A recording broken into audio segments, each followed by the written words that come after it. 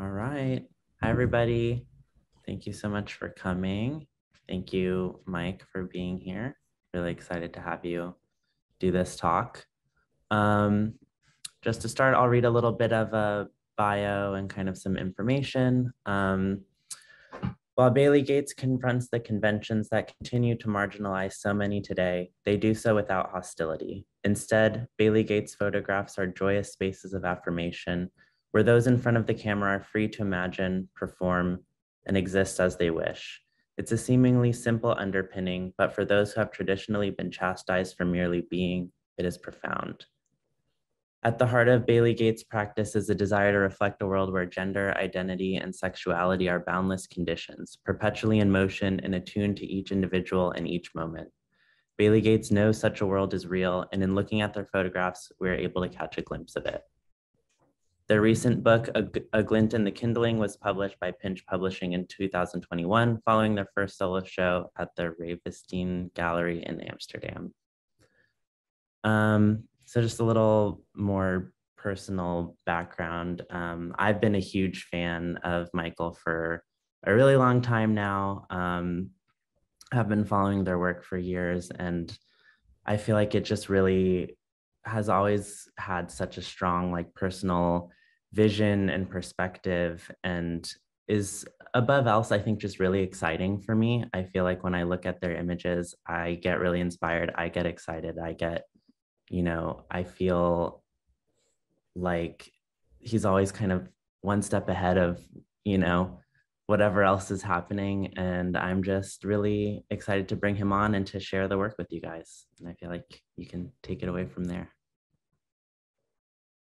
Thank you Thanks, Hobbs. That was such a great intro. Thank you. um, well, let me screen share for starters.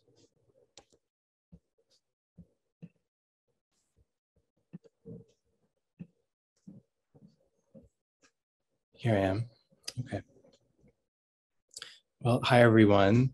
Uh, thank you again, Hobbs. I'm so grateful to be here and um, to be talking with you all today. Um, was so nice looking through work this morning with Sophie and Hobbs. Uh, I feel like I'm kind of in crit again as well when I was in school. So I feel like I am, I've noticed I'm a bit rusty there. Um, but let's just get into it because I think I have an hour. Um, and we want to open up for questions possibly too.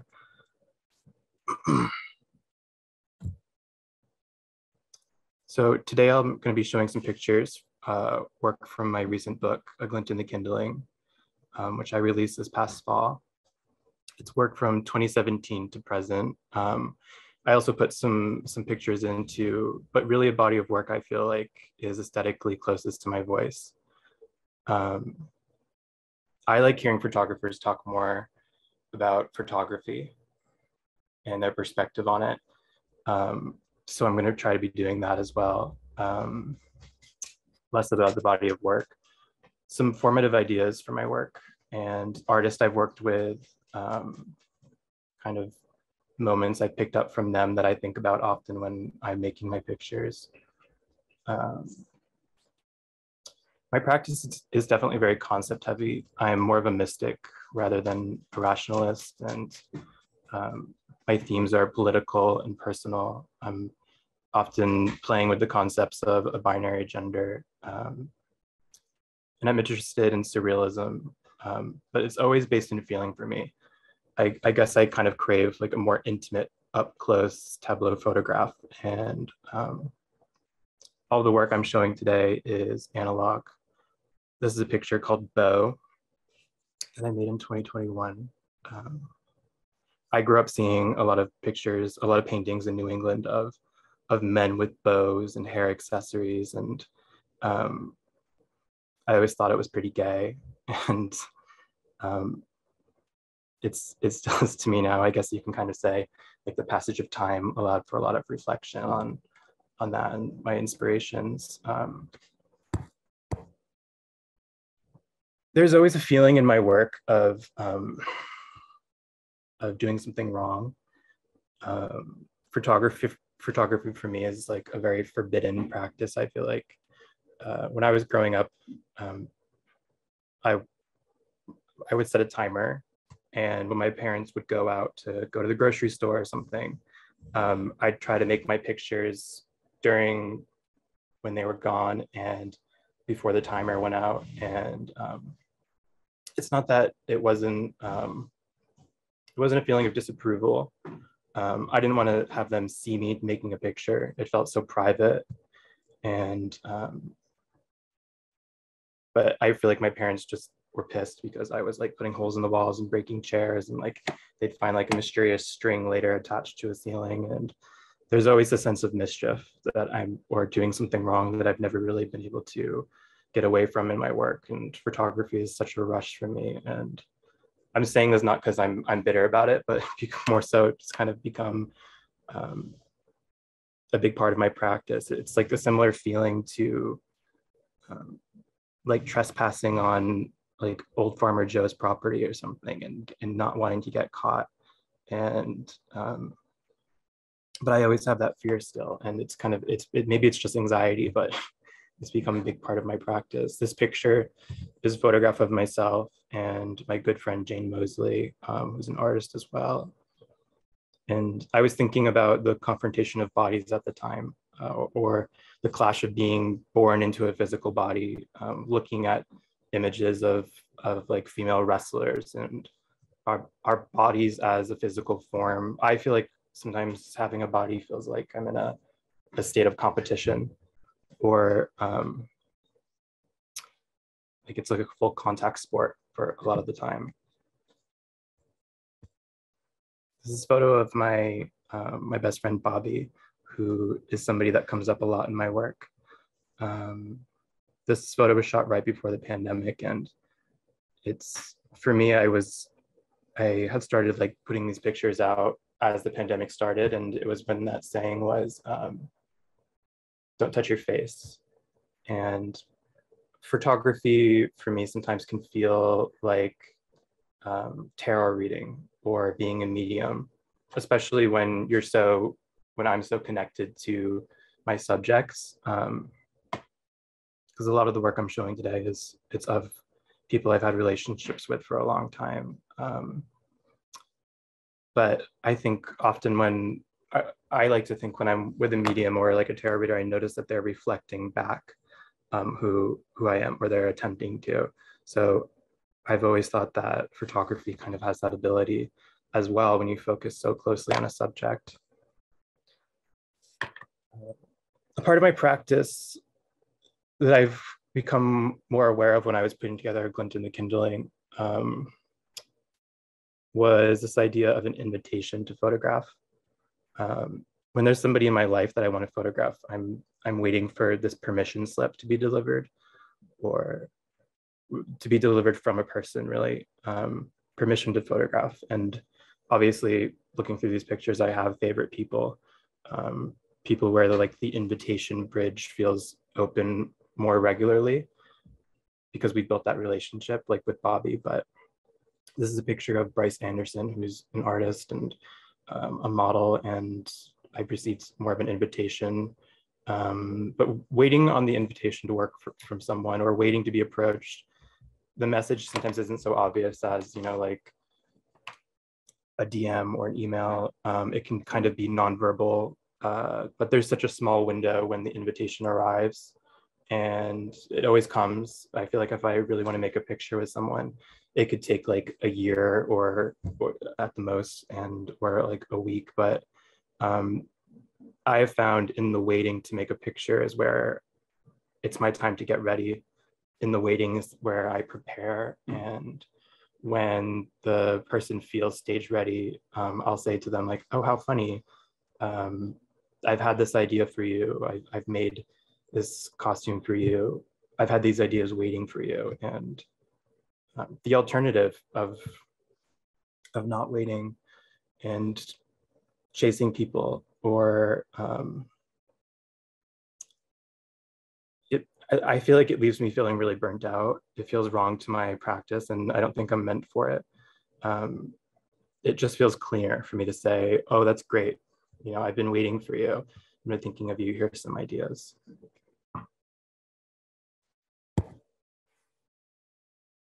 When I was in school, I had a teacher um, for the history of photography named Mary Jo Marks. And um, in one of her discussions, if anybody knows who this is, I've actually been trying to research and figure it out. But in one of the discussions, um, she talked about how a you have a water glass and you put down on a table and when you lift that water glass up you make a photograph there's one right now so it's an imprint it's uh, a stain and that idea was really formative for for my practice in making work was um, leaving an imprint of myself um, you know leaving an imprint of the people around me. This, this imprint of a water glass is saying, know this about me. Um, so to make a photograph or, or to leave an imprint, I want that. That's what I want from, from my pictures right now.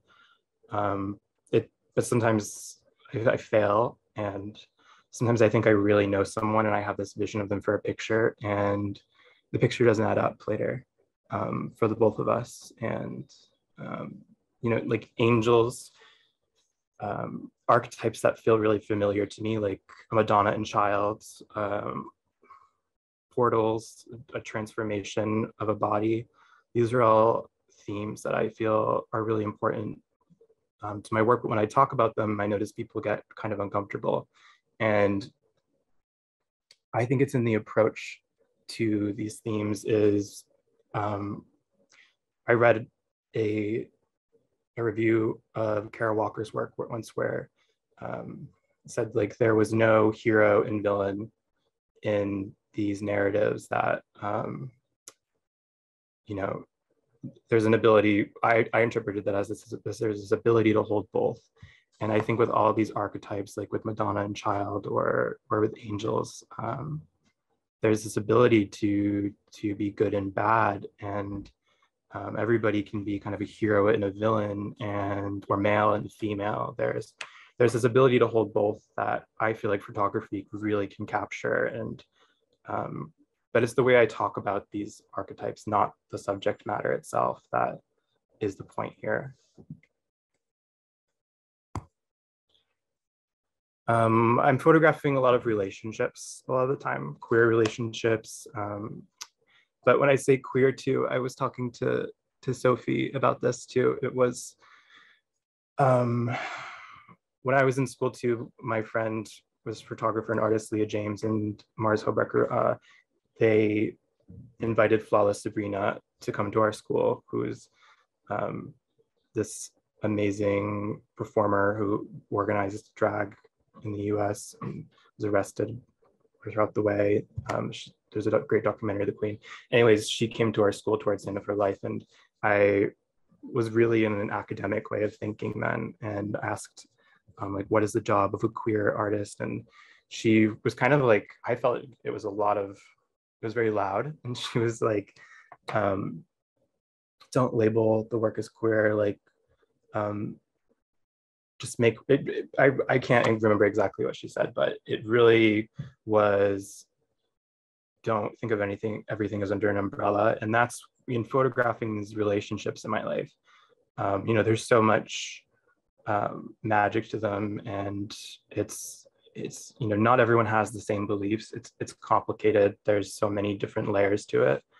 Um, but Bobby Menuez is somebody, you know, I've been photographing them for almost 10 years. Um, they're an artist and an actor and I, they're pretty limitless in what they can do. Um, and we've made so many pictures together, but they capture this mis mischievous joy um, that I'm always after. You know, someone in my life who really understands the roles of making a commercial picture and the ridiculousness of it sometimes.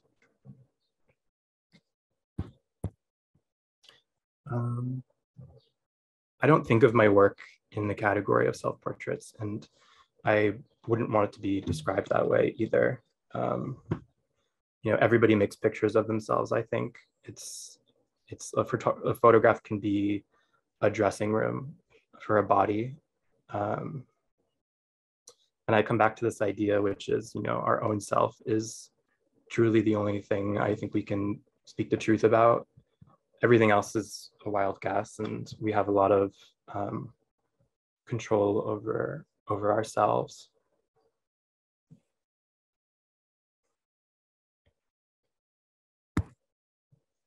Here's a photo um, from from my book Jane and Jane and I. I shot this in 2017.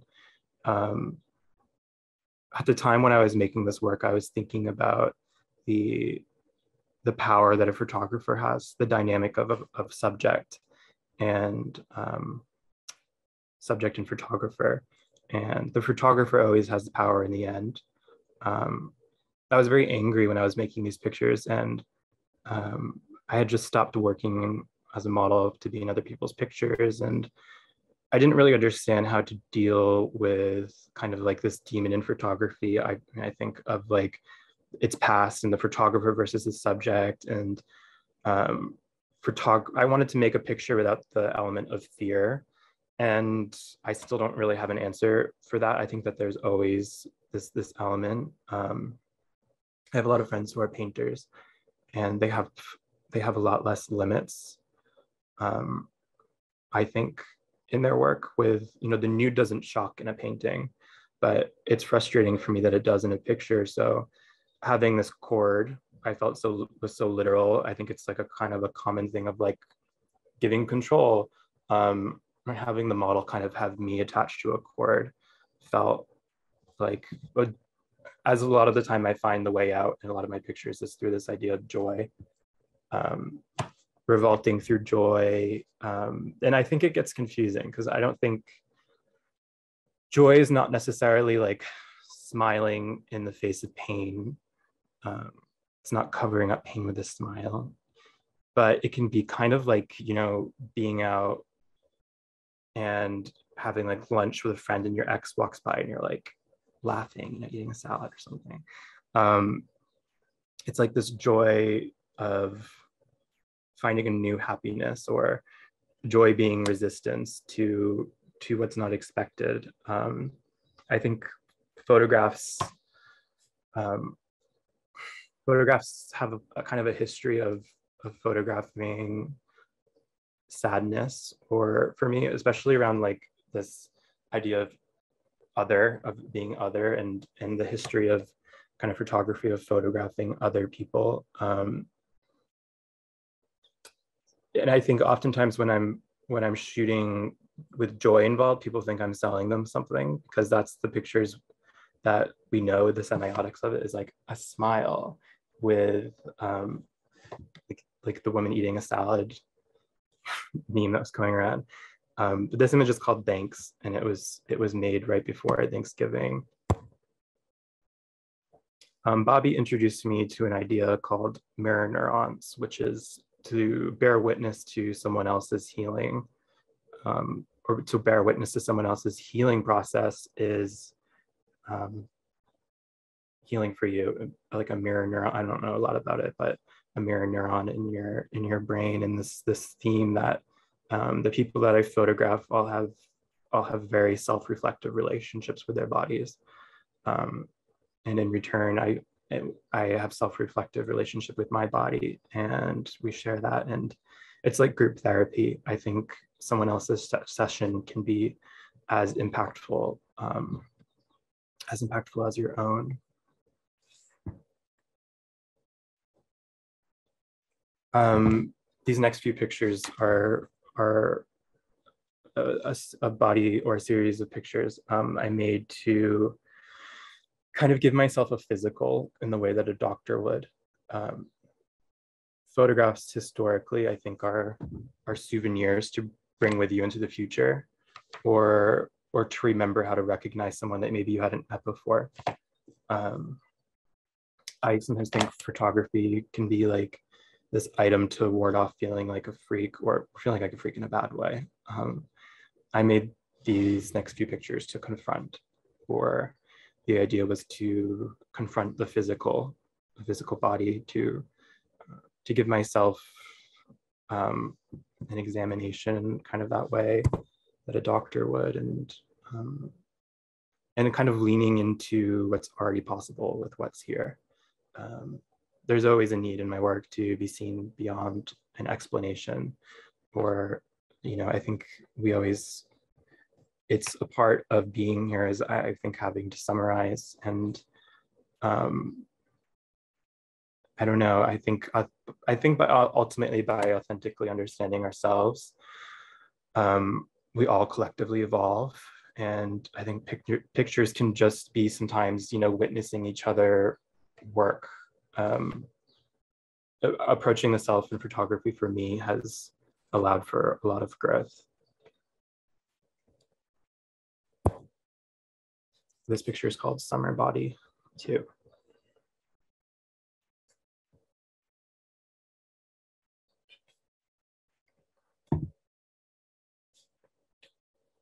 Um, I work a lot with hair and makeup artists in, in making these pictures. I think hair and makeup artists are enormously special people. Um, I work with artists like Kaylee Kennedy and Rob Talty, Natasha Saravino, um, Sylvia Sincota, and they all understand kind of what they all understand and, and they work with bodies in a way I don't think we discuss enough. Um, I think to have have to have this talent which allows you to see people in a new way or allows the person to see themselves in a new way offers huge transformation and i don't think people understand or treat that job with like more respect or uh, you know they can move a body in a way no one else can this picture is actually of of rob talty who is like i call him my wig guy um, and this is a picture of Carly Mark, who is an artist and designer. And excuse me, ultimately, when in making this picture, she was telling me she was so, um, she's like, I love this picture. I always come back to it. It's like how I kind of want to be seen and seen in this way. And I think, you know, working with hair and makeup artists, when we see ourselves in these new ways, um, we get to imagine new ways of being in relation to those around us. And um, that's the huge impact of photography for me is seeing, seeing from another perspective, um, understanding that we all have these unseen parts that are sometimes more important than the physical. Um, this picture is called Two in Garage and it's from 2019. Um, I'm kind of at the mercy of, or I have, I've been at the mercy of where I, I've been at the mercy of locations. I've been at the mercy of, of, of, spaces that people allow me into to make my work. Um, understanding where to find my light was very important for my practice. It's guided my work. Um, where, where does my light live in a room that I've never been in? Where does my light live in a cave? Um, where's my light in like the back of a car in a passenger seat like it's where it's where my pictures are and um, th- this garage became um, a space for me to work in after I, I lost my studio in New York.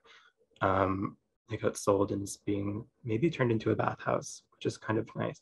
Um, but the garage became a subject that I didn't mean to happen. Um, in garages, alleyways, places that are falling down. Um, they're all spaces that I was making work in and um, would always kind of have this dream of being in like a more clean space. Uh, and now I've started to realize that it's really where my voice is. And um, another formative idea for my work is availabilism. Avail- availabilism, it, uh, I learned from Kembra Pfahler, um, who I, I worked with for a while. And it's all about using what's around you. I think photography has been for me a practice in gratitude.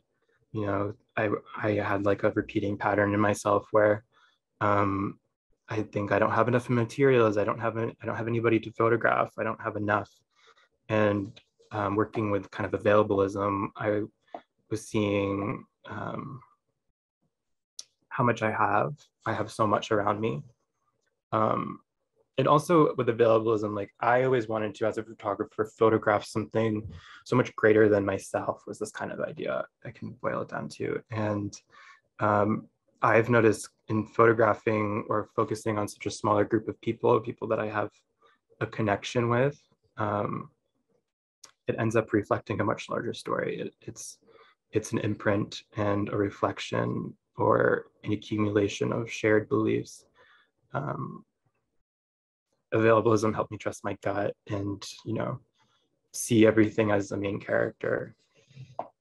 Another formative um, idea for my work was um,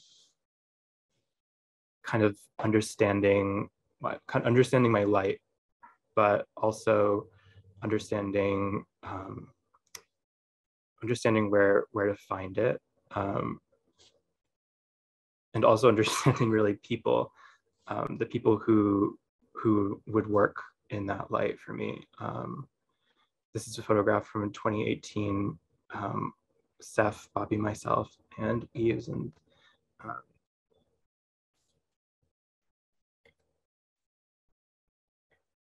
and kind of on that note too, this idea of of community or um, I listen to my friends and I, I feel like I'm reflecting back the listening and and making pictures. It's more about what I hear and less about what I see. Um, that's really a big part of my practice and following um, artists like Alice O'Malley, who is a mentor to me. Um, she's been photographing downtown New York artists, and it's with such sensitivity and in understanding of, I think, the understanding of the passage of time. Um, that you know, pictures can be artifacts of connections made, or photographs of community and protection and collectively transgressing. Um, and that's something I really learned from from her. I love how I love how working in the landscape of intimacy sounds. Um, I often find myself photographing myself. I often photograph the stages of transformation. Um, and I don't know until later that I'm photographing a stage of transformation. But building these playgrounds in or these staged pictures, you can say, um, I'm hopeful when I'm building these playgrounds that a con connection can be made. And I made these pictures uh, of this installation during the first few months of quarantine. Um, and I made it twice actually, because the first time it was eaten by rats, and um, the second time um, it wasn't. And it's it's made to scale with the transformation scene from Cinderella. And um, there's a really great talk about pixie dust by by Marlon West in the history of pixie dust at Disney. Um, it's this moment, it's the, always this moment before brand newness, which I loved that, that phrase.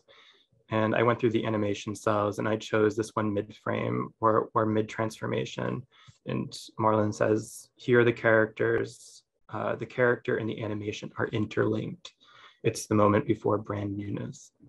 Um, and there's there was a big resistance to me in making this picture, this idea of twee, or you know, the, the, the, resistance to working with something that felt kind of twee to me.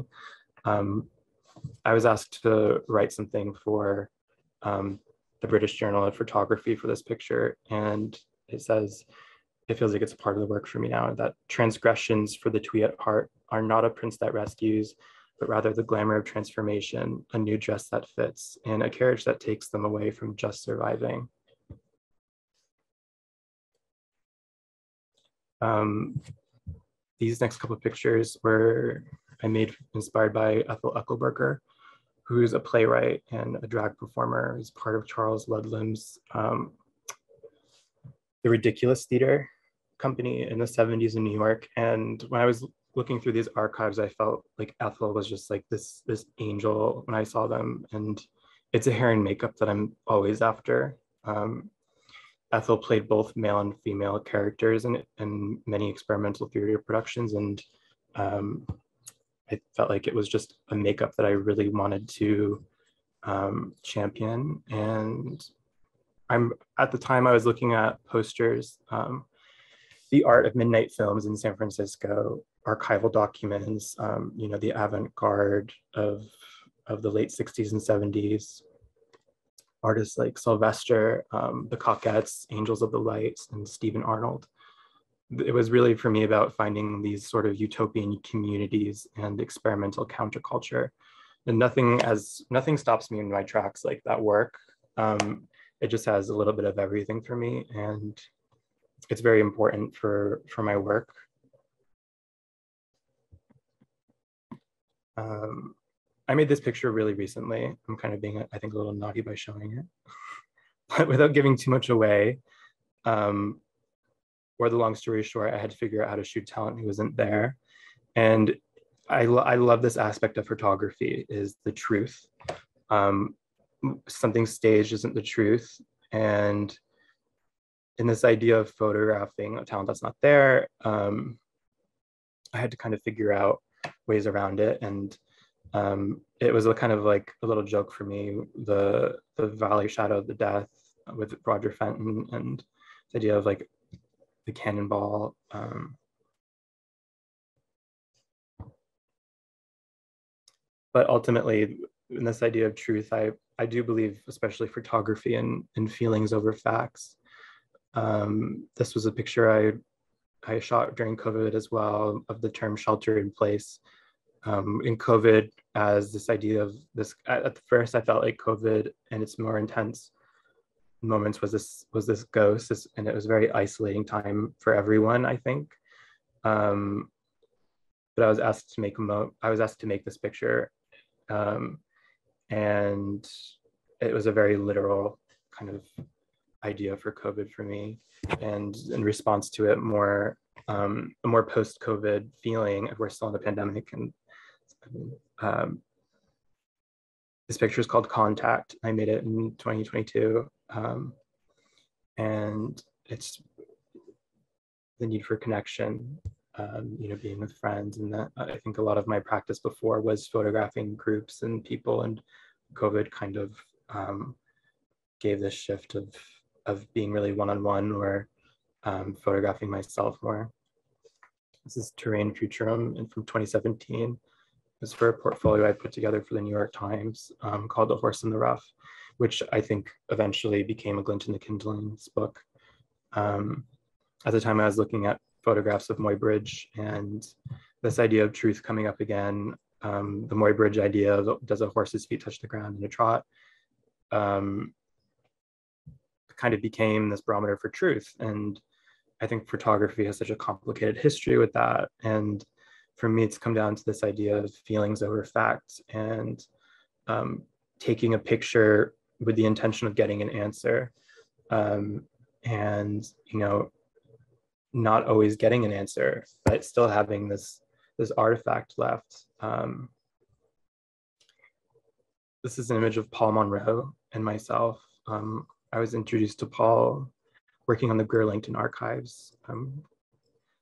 Greer, Greer quickly became one of my favorite artists. Um, she was a part of the Lower East Side scene in New York in the 1980s, um, made a lot of handmade dolls of, of artists and celebrities and these big room sized installations and photography. And Paul over was Paul's um, her life partner and um, oversees her archive. And Paul graciously led me through through her work and the work of many other artists I've discovered through her dolls. And when the invitation came to photograph together, um, I knew I really wanted to make pictures together. And I feel like a large, I feel like a large clunky horse a lot of the time, especially um, in in the stage of a picture. Um, so this is really just a reflection of a friendship made through the love of, of, of history. I shot this in 2019.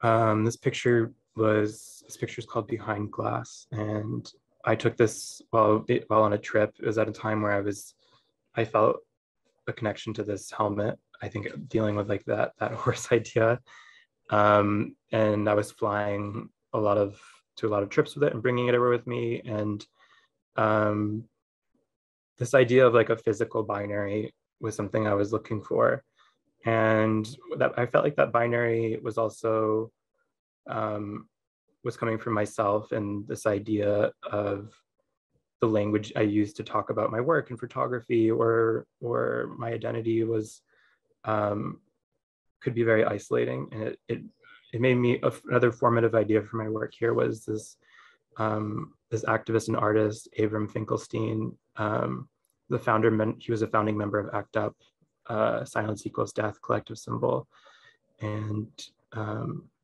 he was asked in an interview how do academic conversations apply where um, to somebody how do how do these academic conversations apply to somebody who drives a cab for a living? And his answer was like i worry that the language alienates the very people those conversations are about.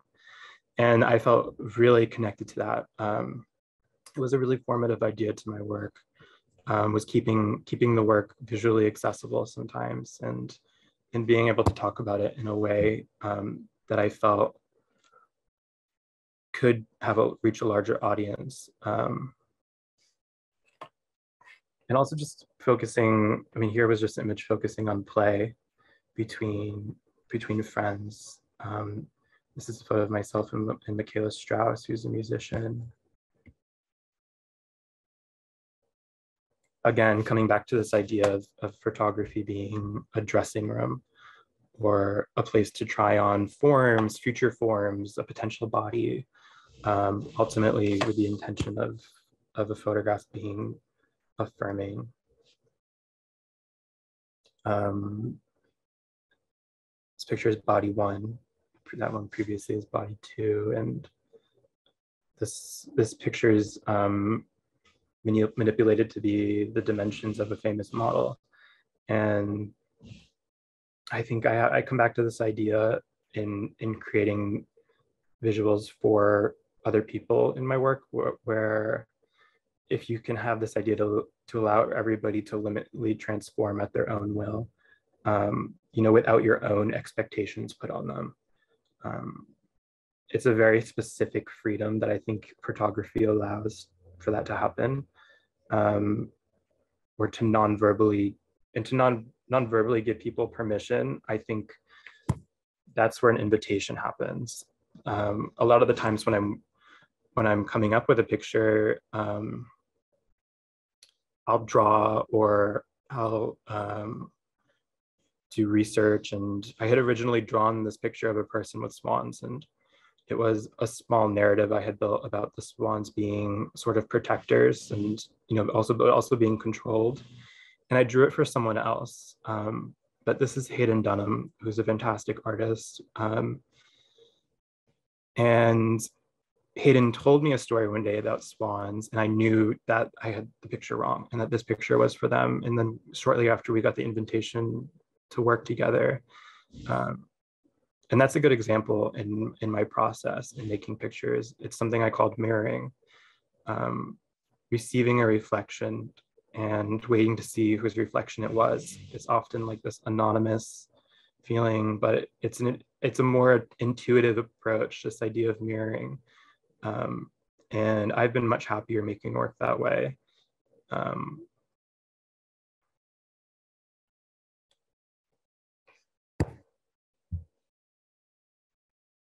I think rituals between friends can be really um, reflective and important. And I think being separated physically has it's it's such a theme nowadays too, but um, connected on another energetic plane. Um, so much happens, I feel like above and putting that into a photograph feels really intimate and it feels like it's been really um, moving in my work to, to work in that way of you know feelings over facts um,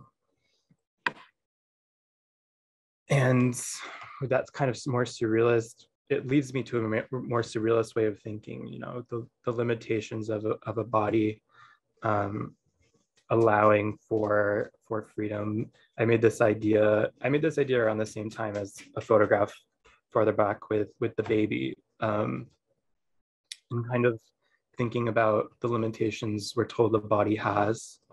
Um,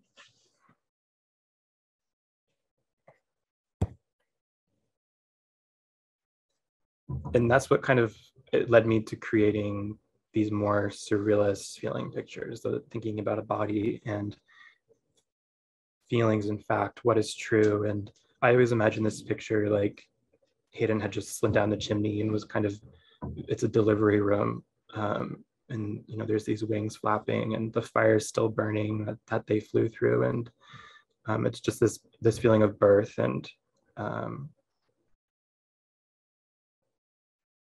I think so angels too are like the sort of messenger and um, that's the reason I really enjoyed I enjoyed the the reference of an angel because it feels like a messenger and I feel like I have people in my life who are these these sort of messengers um, messengers of something new messengers of a new way of thinking and something that offers a new perspective. And I enjoy photographing people who who I think give me new perspectives of how to live. It's tapping into that magic space of, of limitlessness and um, being reflective. Another picture of, of Bobby. It's more recent. Um, this is the final picture and I shot this picture during the pandemic in Paris. And at the time that this photo was taken, um, everybody in the studio was singing this French lullaby to this baby. And, you know, probably 20 or 30 people who just happened to know the song in unison. And it was one of my favorite moments of being a photographer so far. Um, I think photography can invite us, you know, not just to this surrealist world beyond ours, but one which already shines through the cracks of, of our own and a world I think that can transform for or is transforming for the better. And you know, I hope that that can be the impact of of making pictures and making pictures with others is is documenting this this shift that I feel like is happening.